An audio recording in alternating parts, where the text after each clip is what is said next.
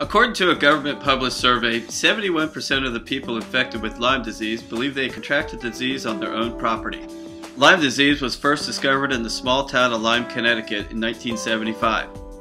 According to the Center for Disease Control, it is transmitted to humans through the bite of the black-legged tick.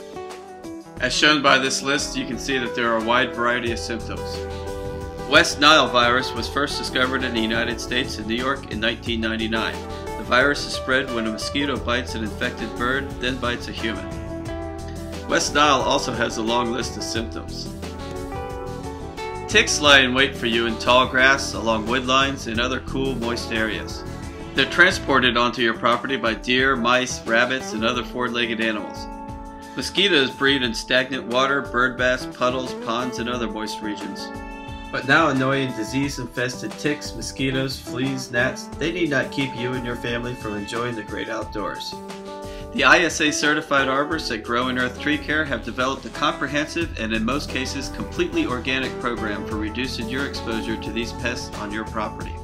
They go after the pests themselves with a cedar oil based organic solution that disrupts the life cycle of the pest and kills them on contact. Additionally, they can remove the habitat where these pests live and multiply, this proven program makes it possible for you to enjoy being in the great outdoors on your property again. To get your free, no obligation estimate, give Growing Earth Tree Care a call today at 703 818 8228. This video is brought to you by the ISA Certified Arborist at Growing Earth Tree Care.